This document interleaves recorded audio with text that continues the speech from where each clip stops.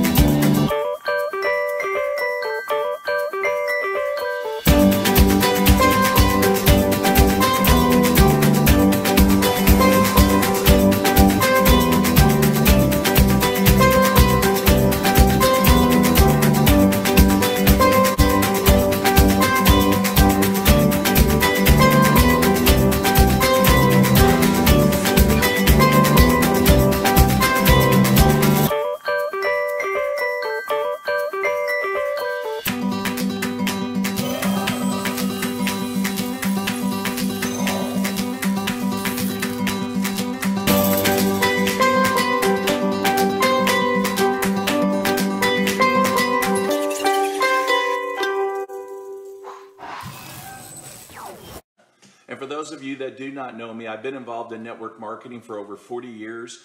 I share a lot of what I've learned in my journey on these live calls. I started in this business totally broke, sold a junk truck to get started, put $200 into my business, and last, and uh, so here's the thing. Uh, this is something that you know you might want to share on your page to your downline who always says, "I'm not getting results." Uh, Natalia, nice to see you from Russia. Uh, and Christy from Savannah, nice to see you. And uh, Rajendra from Northeast India. Okay, you're the furthest one out.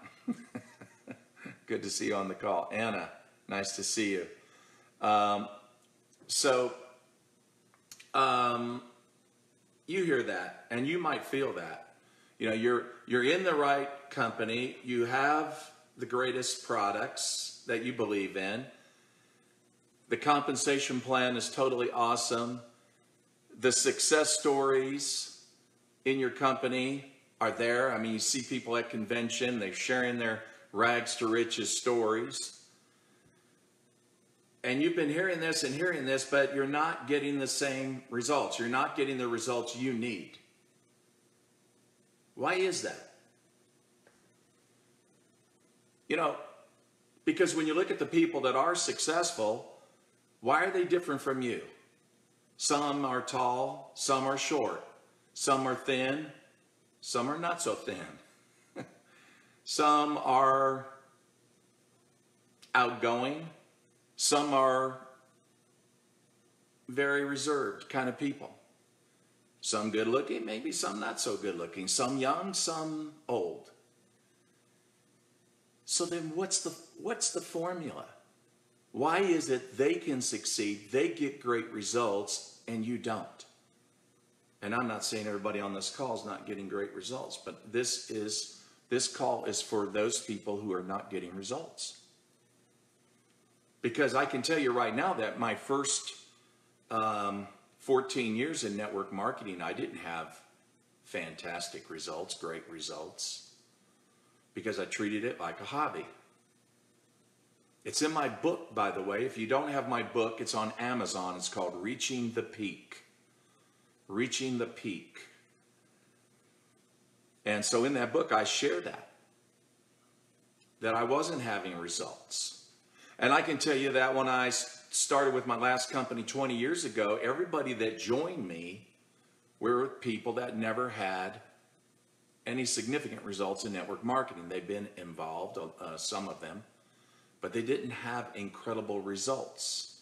Kathy, nice to see you from Australia. I knew she would show up. Okay, you're the furthest one out. Good to see you on the call. Just hope nobody from New Zealand shows, right?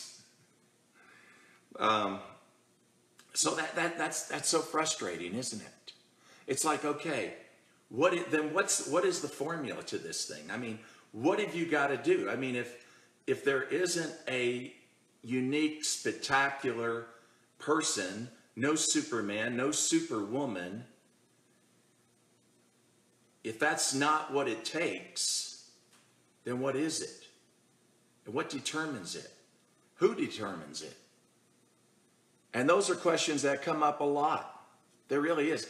The fact of the matter is, there's not better people out there. I don't want you to feel that way. I don't want you to, when you go to your convention and you say, and you see the people, same, same people, and sometimes it's not the same people, but someone's getting on stage and they're sharing their rags to riches story, and you're saying, "Oh my gosh, why not me? Why not me? What's wrong with me?" Does anybody relate to that out there? I guarantee you, if you don't relate to it, a lot of people in your team relate to it. They wonder, why not me? The fact is, you don't have to be unique. The fact is, you don't have to be some spectacular person. You know, I, I illustrate it like Roger Bannister. How many of you have ever heard of Roger Bannister? Roger Bannister was the first person who ran the mile in four minutes. It had never been done before. Never been done. Now, Roger wanted to do it because it had never been done. So he learned something. And certainly you have to run, right? You have to practice running regularly, right? If you're going to do this. But that wasn't enough. And that's not what made him reach that mile in four minutes. He had to make the shift first in his head. He had to do it first in his head before he could do it with his feet. And that's the story, and that's what he had to learn. In other words, he had to totally commit to it. Now, he didn't have any examples of people who did it before, right? See, it's a lot easier when you have those examples. Because after he was the first one to do that, to run the mile in four minutes, guess what? In two years, 37 other people did it too. In two years. Two years after that. Now, why, could, why did those people not do it before? Why was it Roger? See, that's what I want to talk about tonight. Because the difference is not working harder. If he got out and just ran more, that would not have changed things. Your working harder is not necessarily going to change things. I mean, hard work does pay. I agree. But I'm going to tell you, there's a lot of people that work hard in network marketing, but they don't get results. That's not enough. Not enough at all. So the thing about it is, it's not that you're bad.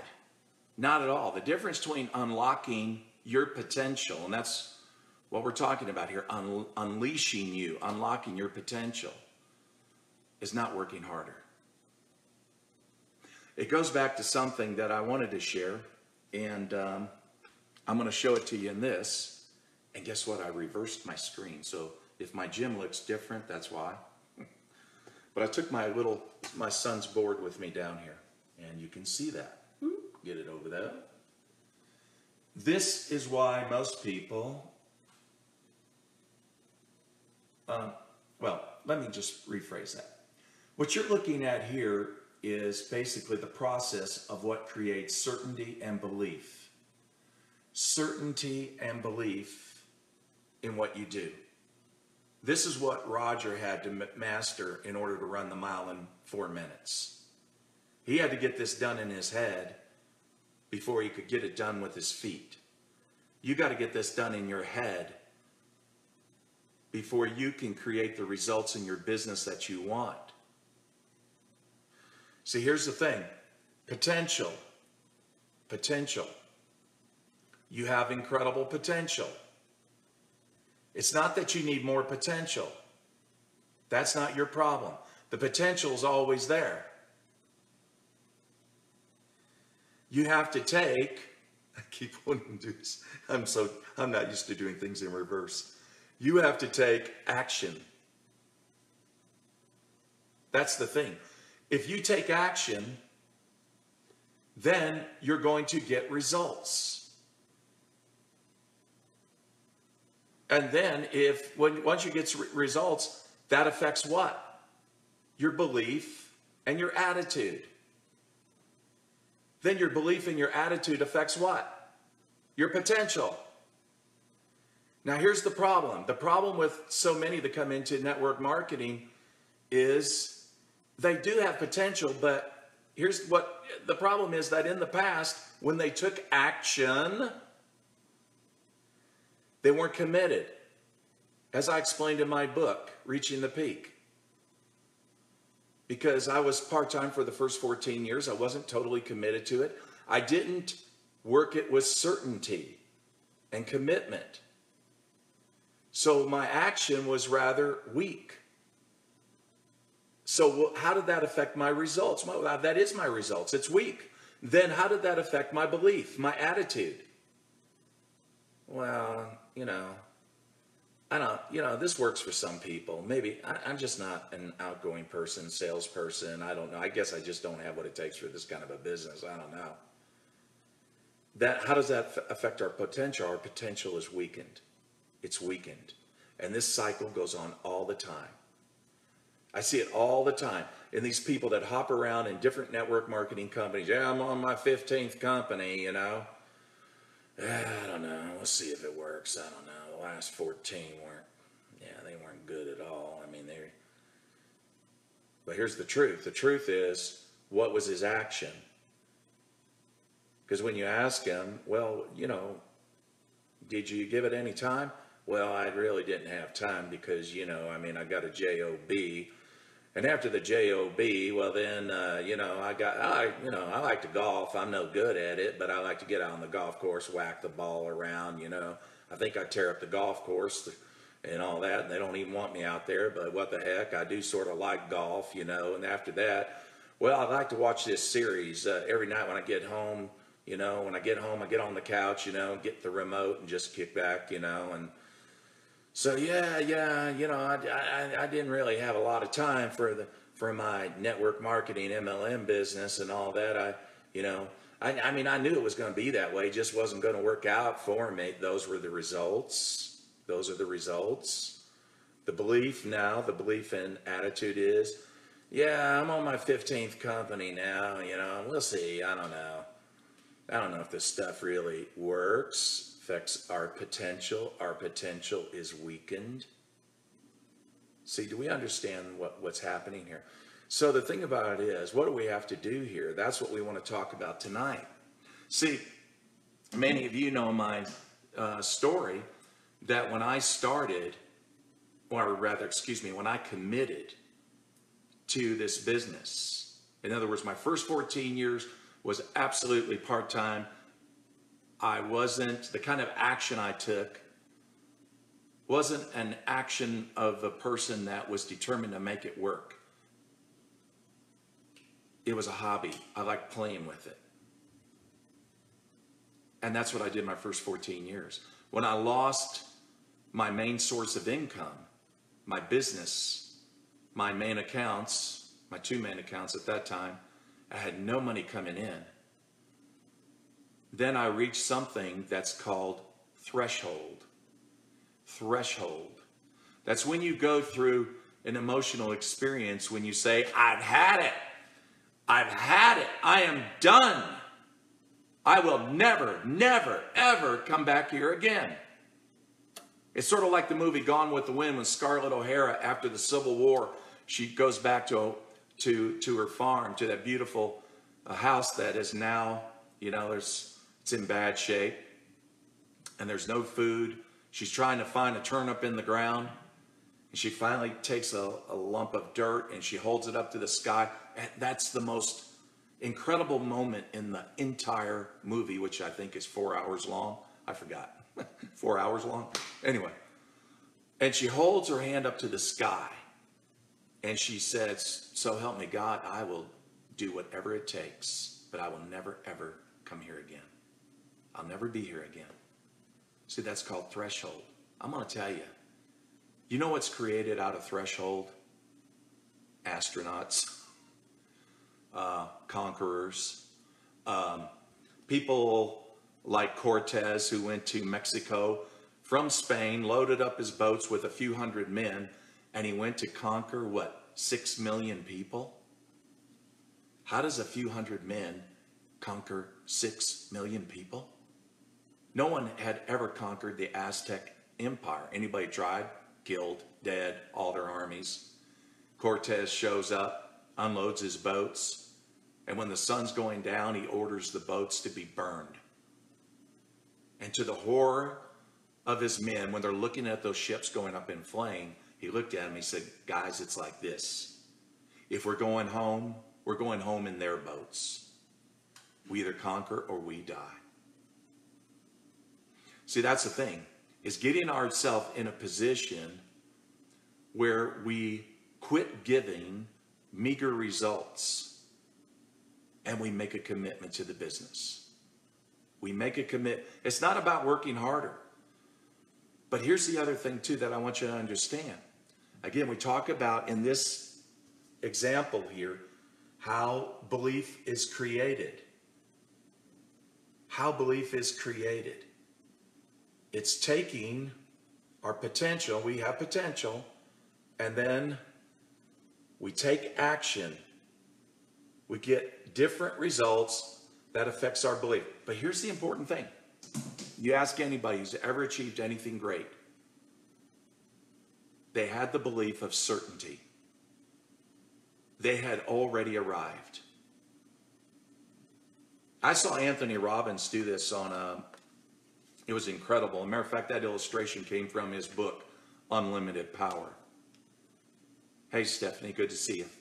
Um, but the thing is, certainty is like I share in my book, Reaching the Peak. Because every Sunday when I was totally broke, trying to get my business going, I was totally committed. I was committed to showing up differently.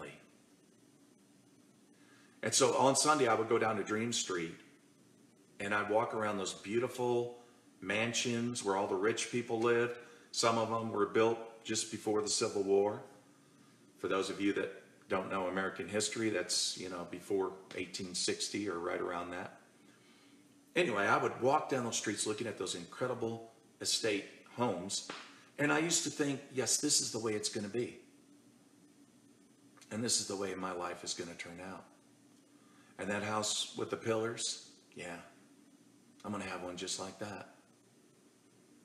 And those gardens, those roses, those perennials, yeah, and I'm going to have a gardener too. That Mercedes, yeah, and I'm going to put a BMW next to it. And I would do that every Sunday. See, I had already arrived. I was piss poor broke. piss poor broke, as we say in the South. But I had already arrived and I knew it. Is that really the way it turned out? Well, read my book, Reaching the Peak. Yes, in 18 months, I moved into a beautiful historic house that was built in 1860 and it did have the pillars out front. Yes. The gardeners came later. I'm telling you. But how does that happen? Because you've got to create certainty before you can get those very things that you want in life you have to accept it that you already have arrived. That, again, that affects everything. That affects because belief, belief affects potential. Your potential gets greater. When your potential gets greater, so does, you, so does your action. That affects your results. I got to get used to this board doing it backwards. That affects your results. Then that affects your belief. Then it goes back up to your potential. It gets greater. Then your actions get greater, your results get greater, your beliefs get greater. So the thing about it is, circumstances that moved me to do that, that's true. It moved me to do that. So my back was up against the wall like Cortez and his men against the Aztec Empire, right? But here's the thing most people that join, their back is not going to be against the wall. I, I, I'll give you that. Your back may not be against the wall. And I'm not saying that you have to fall on hard times in order for you to be great at network marketing. You don't. You don't. I don't want you to fall on hard times, okay? What I want you to do is do that cycle, but do it differently. Do it differently. Show up differently. That's what I want. So here's some action, action steps that we can take. I'm going to talk about four.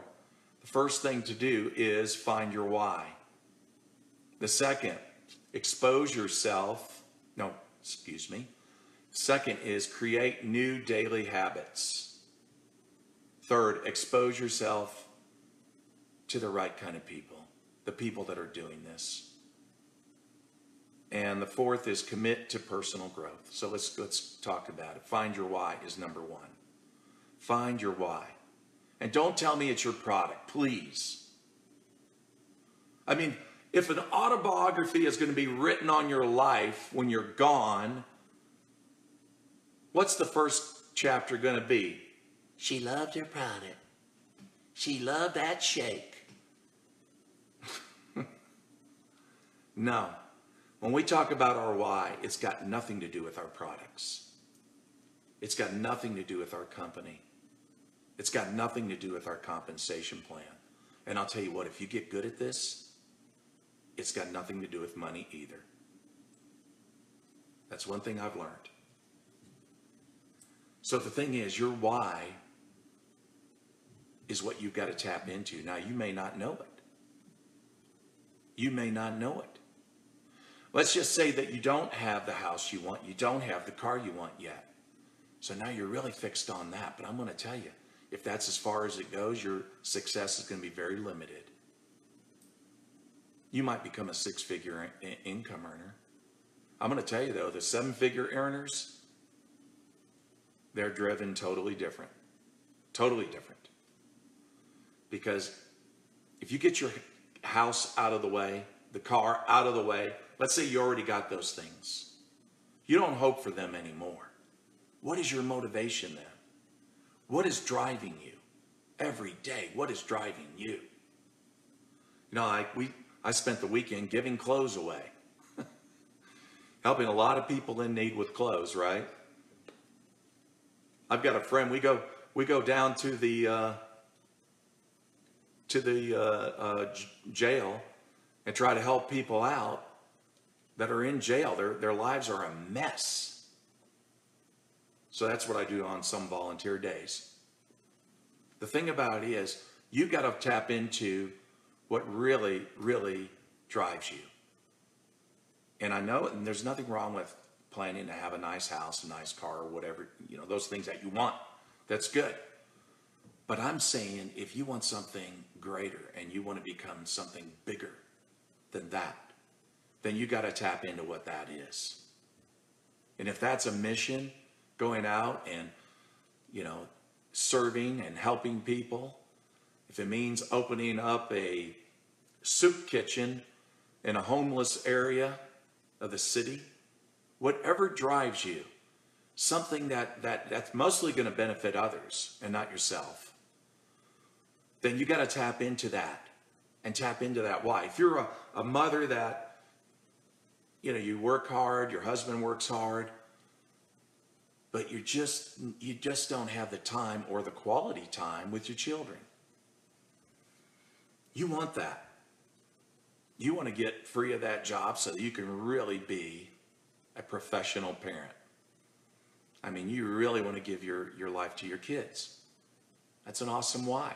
And when you share that with people, when people say, "Oh, so you're in one you're in one of those," okay, you know, why? Well, I love my shake.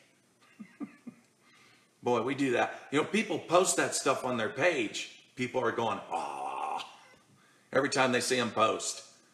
And what do they do? They just take their phone, keep going, keep going. They go right past, past that page because the person's always talking about the products. They're always talking about the ingredients. No one cares. No one's interested. But when you share what you're passionate about, things that really have value, things that really resonate and connect with people, then you got the, then you got their attention. So find your why. That's first of all. Second is develop daily habits to get your business built.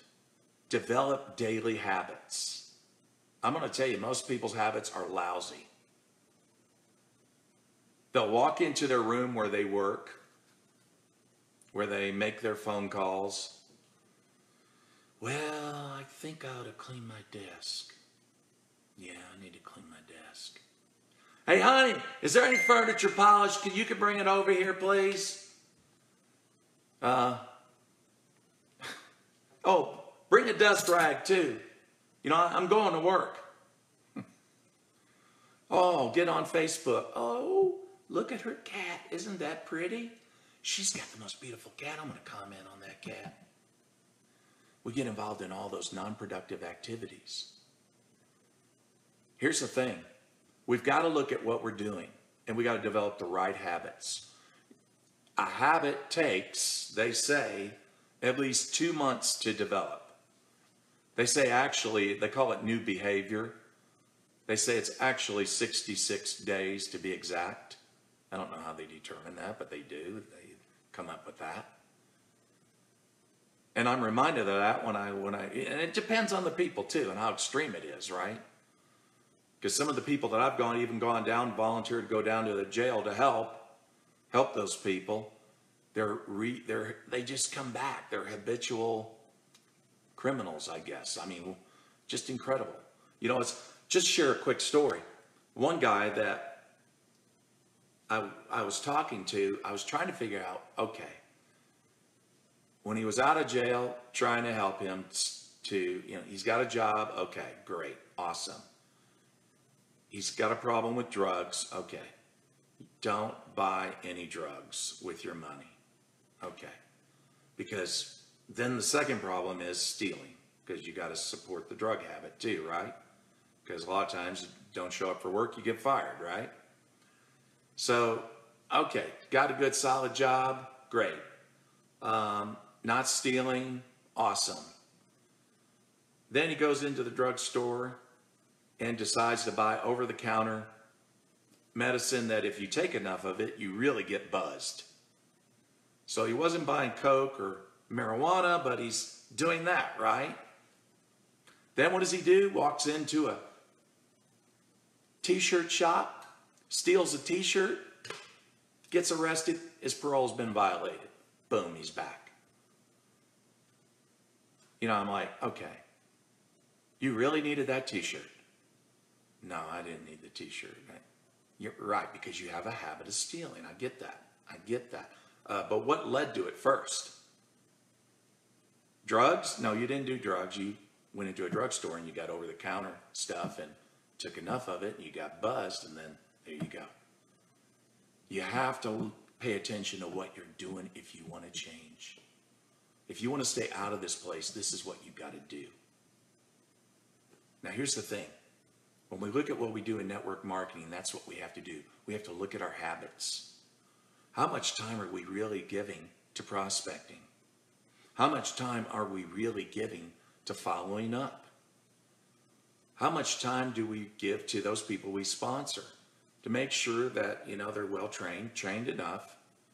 Whatever tools you got, whatever Facebook groups you support them with, whatever that is. If it's meetings you go to, fine. Trainings, whatever. Zoom calls, whatever. Whatever you got to do to expose them, but you got to do it regularly and consistently. Regularly and consistently. You got to develop the muscles. You got to develop the habits of doing these things, not every now and then, but every day. Now, you know, even if it's for 15 minutes, I don't care. Every day. Adding friends to your Facebook, uh, you know, at, of course, work your warm market, but outside of your warm market, are you constantly, intentionally adding people to your friend network on Facebook, trying to get to know people? So that's the thing. It's about the habits that we have. those daily habits that we need to execute. I can tell you, that's how I ended up full time in network marketing because I took part time jobs. But you know what? Every time I got home, sometimes it wasn't a part time job, it was an all day job. When, when I got home, tired, exhausted, have something to eat, then I'd go down the hallway, close the door, start making the phone calls. It's about consistently, consistency, doing, doing these things, developing the habits. So you don't even think about it. It's automatic. When you come in the door, you know what you got to do. And I understand if you're a woman, you know, you come home, you got another job, right? You left one job, came home to another job. and then you got to make food for the children. You might even have to help them on their homework. It's not easy, is it? That's a tough life. You can still do it. See, even with 15, 20, 30 minutes a day, if you were consistent, the results would be incredible in your business. And the thing is, you need to be an example of this. An example of this. Because when other women can see you do it, they're going to say, wow, she's awesome. I'm going to do that too. Yeah, that's what you want. Now, here's the third expose yourself to people who are successful.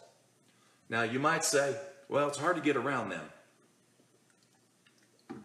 You know, because they have a high pin level. you know, it's hard to get around those people. Nah, might be true on some, not all. It certainly isn't with me. I've never had that, you know, in order to talk to me, you have to be at my pin level. I just don't have that, that, that arrogant attitude, okay? I just don't find that. That doesn't create good culture in a company or a team. But the thing about it is, you can. You, you'd be surprised when you reach out to people how willing they are. You, you might feel a little awkward because they're so successful, right? Actually, you know, if I find that seven figure earners, many of them are very humble people. Really.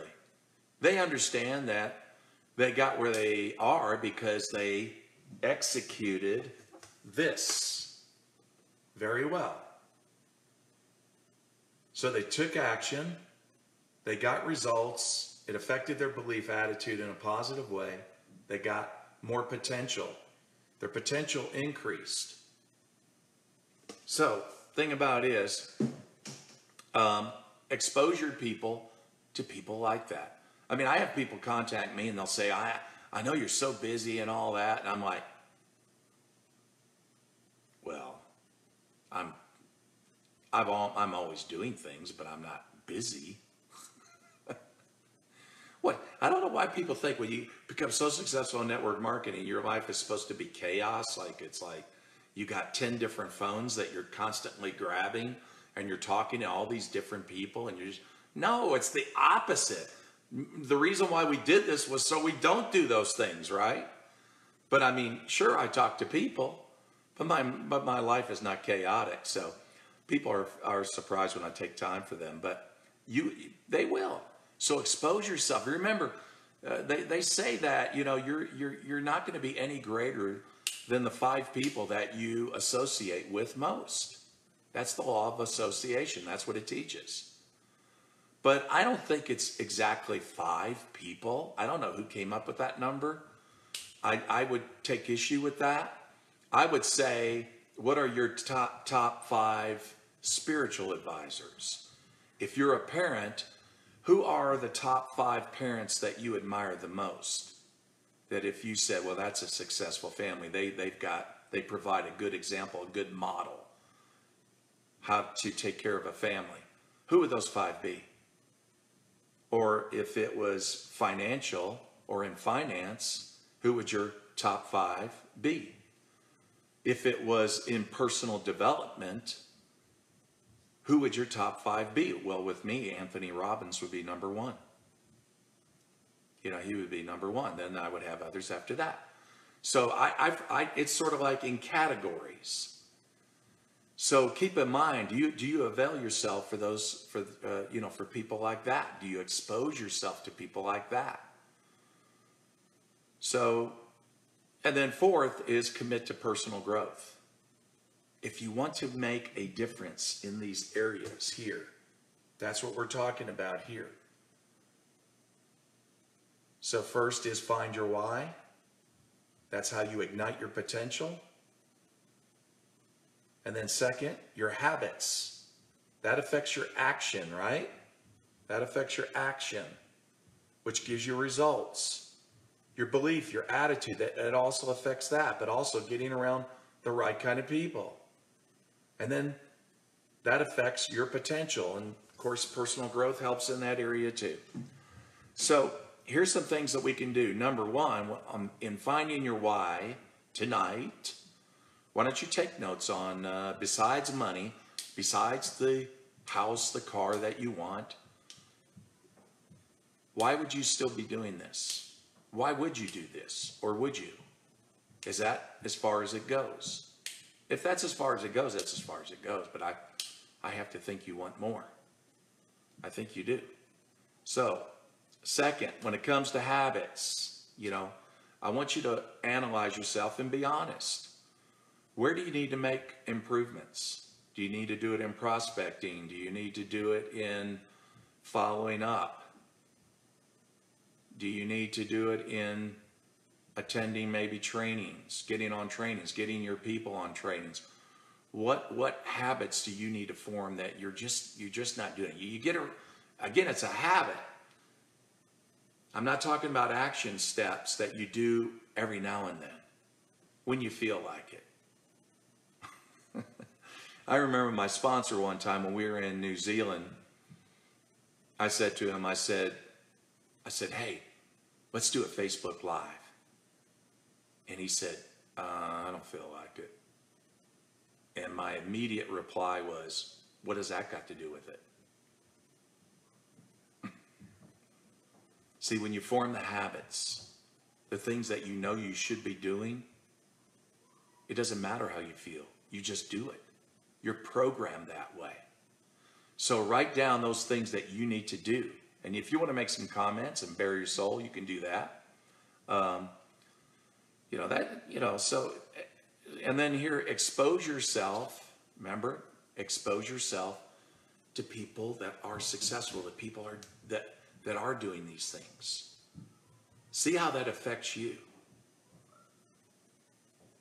For example, are you going to any events? Don't, don't limit yourself to just company events. See, the biggest mistake is that a lot of people think that company trainings or even upline trainings on how to be successful in this business is, is all you need.